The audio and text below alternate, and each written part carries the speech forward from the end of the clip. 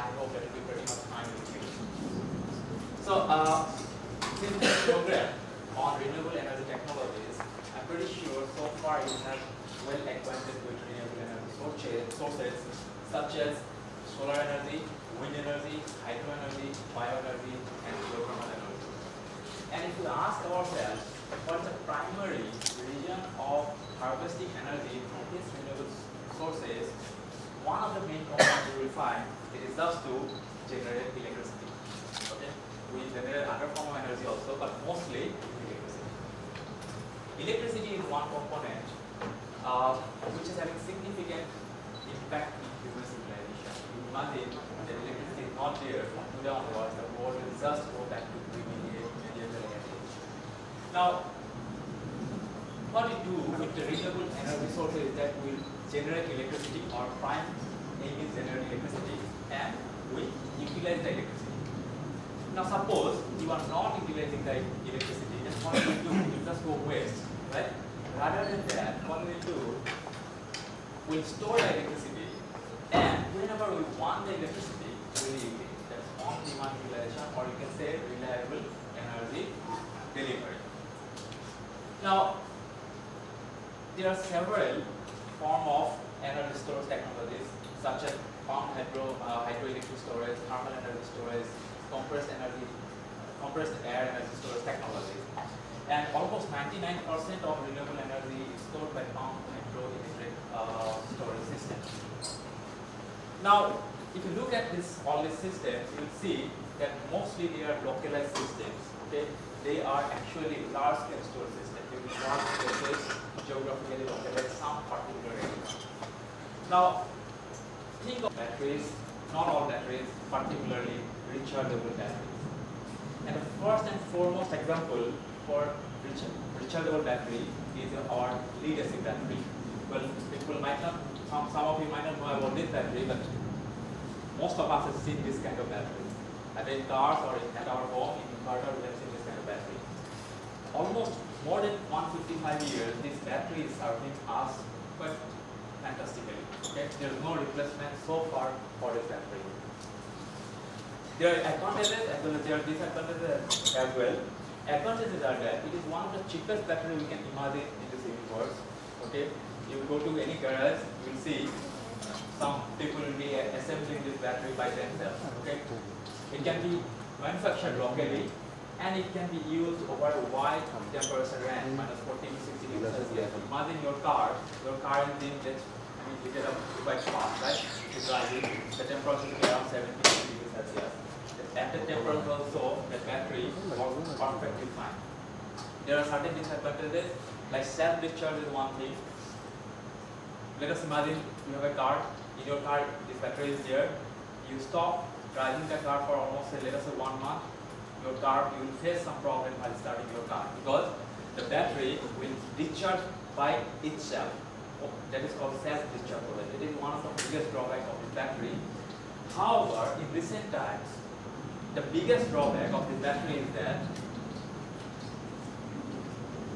it is bigger and heavier. Okay? Nobody wants to imagine ourselves, himself or herself in such of situation. Okay? We do not want to lift a uh, battery of 10 kg or 20 kg on top of your head just to listen to the song, right? Nobody wants that, right? So that's what we need. We need compact and lighter system. Okay? Compact and lighter system, something like this. Okay? If you want to have the device and you want to run the device, you must need electricity. And from where the electricity will come? So when we talk about compact and lighter things, energy storage, that is nothing but our lithium-ion battery. Okay? Lithium-ion battery you will find everywhere in our mobile phones, laptop, I mean iPads, okay? Even electric vehicles are coming out. I talk I talk about that also. Now this lithium-ion battery actually has revolutionized the portable electronic industry and so hence it also influences our life. Okay, so it has a great impact on our lives in modern society. Now, let us, since I say I'll be talking about stories, let us think of first story. when you open up this device, you will find something uh, you will find your battery something like this, and it is something written here. It is called lithium ion, Li-I-O-N. It is written lithium ion. So the name of this battery is lithium ion battery. The question is, why shall we rename it lithium ion battery? Why we cannot call it lithium battery?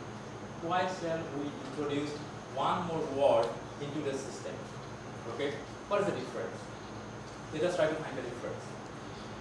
You think of any battery, either it is lead acid battery or it is a lithium battery or any kind of battery, you just think that if you break this battery, you will find two pieces of metal, okay, not metal, I have percentage of metal plates, we call it electrode 1 and electrode 2. This electrode 1 and electrode 2 will in some kind of liquid, let us say this is a blue color liquid which, call, which we call it electrolyte. And some kind of reaction, electrochemical reaction will take place at the interface of this blue color liquid and the okay. And these reactions are coupled reaction. If something is happening at electrode 1, the other reaction will also happen at electrode 2. And because of that, charge transfer, Don't know whether you could see or not, charge transfer reaction will take place at this interface and because of that current will flow and that's how we basically derive the energy or electricity. There are a large number of this kind of electrochemical cell inside this battery. There are a large number, 100,000 something like this.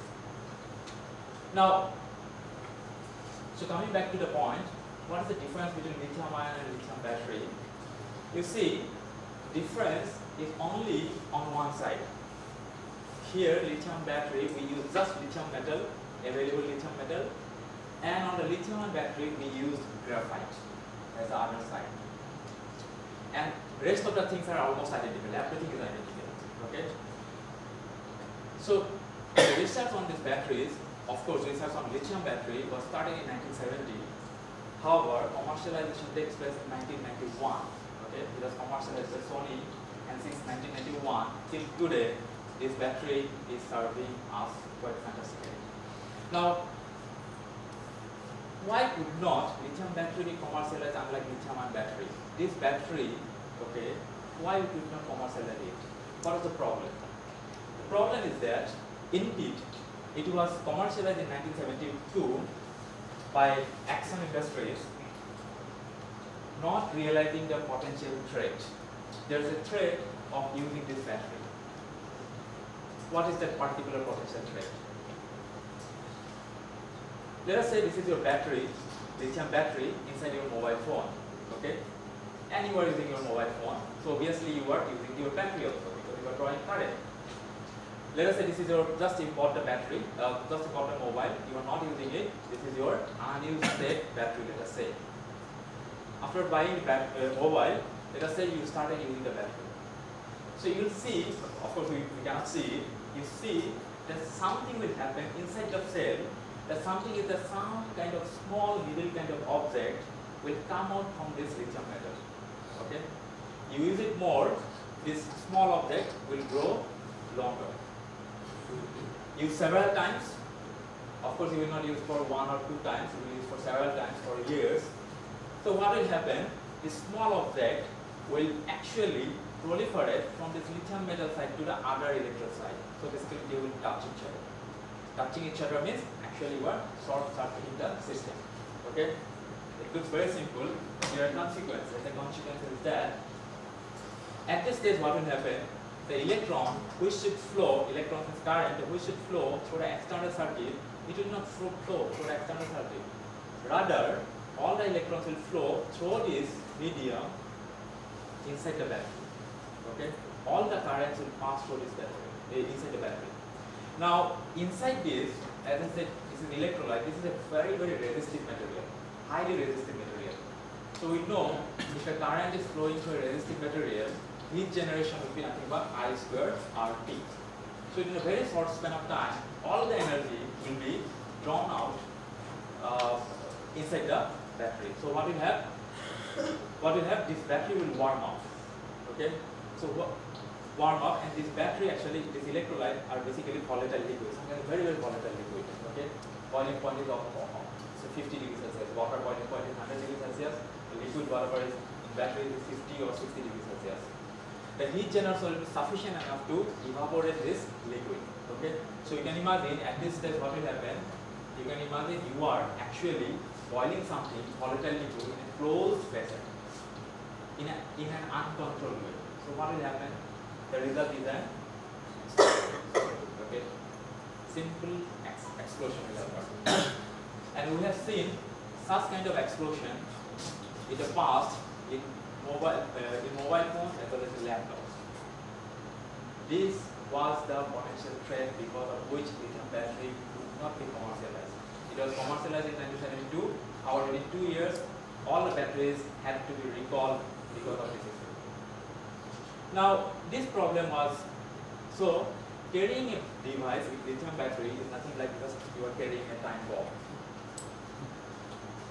What are these objects? We call these objects as lithium dendrites. Uh, we can see these are the microscopic images of this small dendrites coming out from this lithium metal. Okay, and if you look at this time evolution of this time evolution of lithium batteries, in zero second there is something which is completely flat. In 3.3 seconds itself something will come out. Okay, and almost 40 seconds you can see there is proliferation of this kind of small objects just 40 seconds, not even one thing. That problem was solved in 1991, not 1991, in our late 80s by one of the professors at Cambridge University, named Professor Goodenough. And this lithium metal, when replaced with graphite, the system was working absolutely fine. Okay? There was only one disadvantage or trade-off. Trade-off is that if you use lithium battery, probably when you use your mobile phone, you can use, you could have used the mobile phone without charging for less than one week. If you use this device, probably every day we need to charge it. Okay? But that's fine, as long as we are alive, that is fine. One day charging we can do it. Okay? So we replaced the lithium metal with graphite and that system was commercialized in 1991 by Sony. You see, the success of this portable electronics is because of the spectacular invention of this lithium battery. Without this battery, portable electronics. You cannot imagine the kind of electronics we are having right now. Now, there are certain challenges of lithium batteries also, and this I'd like to highlight one of the challenges, and that challenge is something like this. Let us say this is your mobile phone, and there is, this is your battery. Okay, you will see some cases that battery will expand. Okay, inside your mobile phone, there is swelling that's occurring your mobile phone. Now, when the the battery is swelling, you shall not actually use that battery. Now, question is, why it is happening? Why the battery is expanding? Why there is a volume expansion of the battery? Now, look at it. I'm just showing one schematic of this cross section of this battery here, this one electrochemical cell, and here something is happening, and that uh, something some place at this electrode one and electrode two. It's graphite as well as lithium cobalt oxide. That are the electrodes. And this is basically the reaction that is taking place here as well as here. Okay? You can imagine here lithium is reacting with lithium cobalt oxide. Okay? Actually you can think they are fighting among each other. Okay? Now when they are fighting among each other, you may imagine that they are actually injuring themselves. Okay? You do not want to do that. You do not want to damage each other. You want them to fight, but you want them to fight in a very, very friendly way. Okay? No damage to characters. Now what happens here? Let us say this is some kind of material before use in the battery and this is the material after using the battery and you will see if you concentrate on this particular rod you will see there is a expansion in the diameter of this rod okay? And this scale bar is here 2 micrometer so you can imagine the diameter here will be some few nanometers 10 nanometer okay? However the battery is 1 centimeter thick let us say. You can imagine what will be the volume expansion okay? From 1 nanometer to 1 centimeter.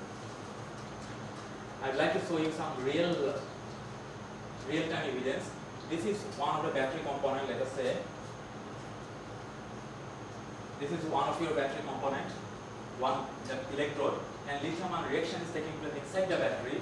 And you see how the reaction is taking place how there is an expansion of this expansion of this rod okay? Not only not only the expansion, uh, lateral expansion, you could see, see it's starting up, it needs more volume actually. It is reacting. It is not getting stagnant. It needs more space. Because it is reacting, it is see, this keep on elongating. Okay, and this is happening at 200 nanometer scale. Okay, so if you translate it into one centimeter or two centimeter device, the expansion will be quite high. Because of this, because of that kind of volume expansion in the electrode material, we see the swelling in this kind of battery. Now, this is a big challenge, it is a big challenge, how to solve this problem. Okay, how to solve this volume expansion. Material scientists were quite smart enough to solve this problem by manipulating the micro scale level. I would like to just give one example, and that example is something like this.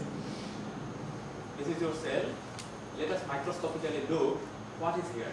Okay, you will find some kind of objects, something like this. Okay, you can imagine this ball is having a core and there is a cell.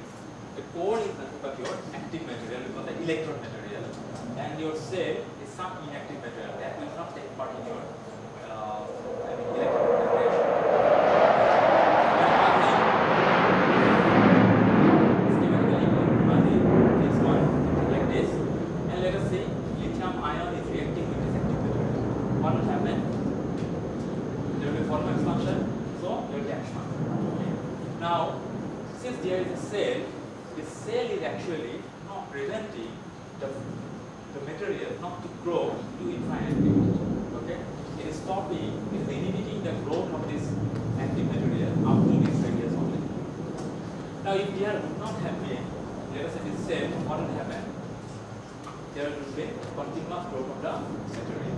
Not only continuous growth, the material would have disintegrated with time to time. So material would have, I mean, the amount of the battery reaching out.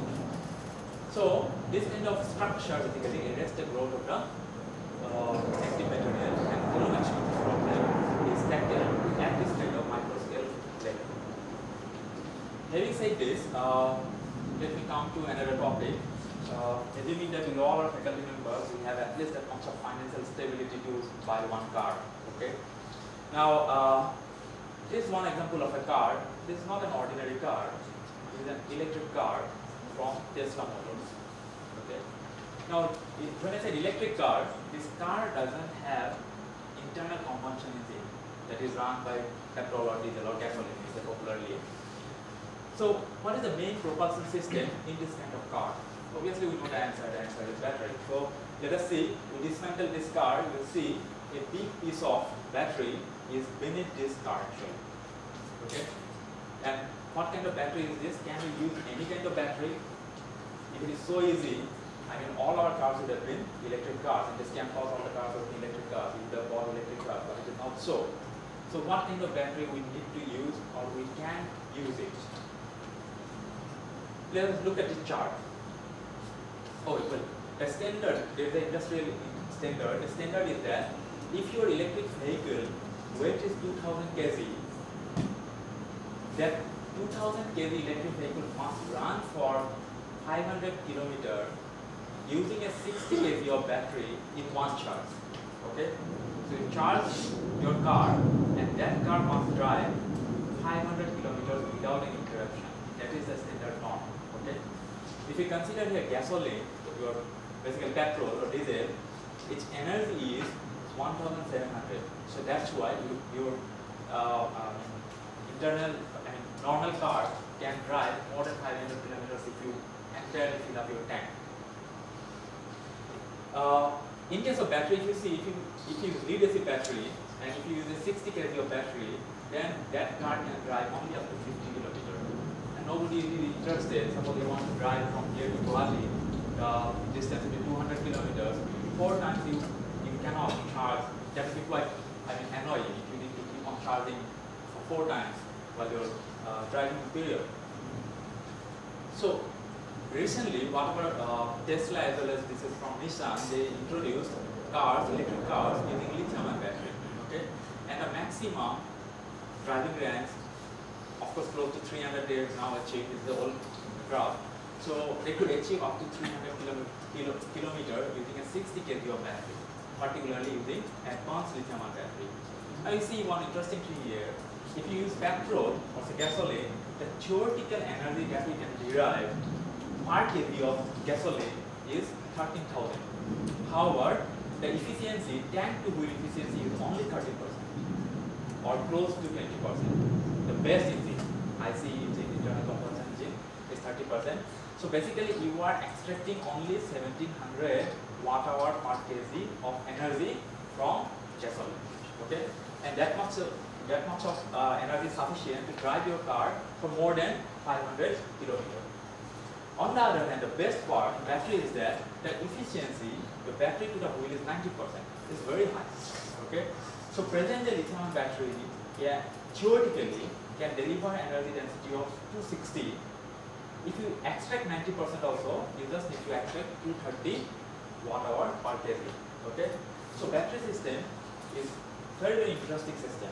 However, this number 230 is not anywhere close to the 1700 number. Okay. So using lithium-ion battery, it is impossible. Not only difficult, it is impossible to achieve an electric car which is comparable to your internal combustion engine supported car. It is impossible. Because there are no such material which can give that much of energy density in a battery. Okay. So, however, there are other systems. The other system is this one. If you look at here, lithium air, okay, here your energy is almost close to 1000. Now we can probably explore this one. Here if you look at it, I don't know whether you see it or not, the theoretical energy density is 3500. Okay, if you can extract even 50% of it, that means you are achieving your target of gasoline. You are achieving 70,000 watt hour per kg. So, if you use this system, lithium battery system, if you use this system in your car, your car will drive for probably more than 500 kilometers. Your problem is solved. Okay. It is so simple. If its energy density is so high, why it is not getting implemented? That's the big question. There is a problem let us say this is your one particular cell of your lithium ion battery. In one side you are having lithium metal, another side you are having one we call it porous cathode, or porous carbon. Basically we use carbon just like your coal, okay, charcoal. You can use charcoal here. And oxygens are pumped into the system from normal atmosphere. From normal atmosphere, whatever oxygen is available, you can pump into the system. Okay? So here only one component is expensive, that is your lithium metal. Rest of them are almost all reductant uh, objects because oxygen anyway is freely available. And this kind of reaction takes place. Lithium ion moves from this side to here. It interacts with oxygen and forms lithium oxide at this surface. Okay. Let us microscopically look at it. Let us say these black uh, bars are your porous carbon cathodes. Lithium ion will react with the oxygen and you see what will happen. There is a formation of lithium oxide. Okay. With time, this lithium oxide formation will take place and there will be a time when there will be a time when all the pore structure of this carbon will be covered by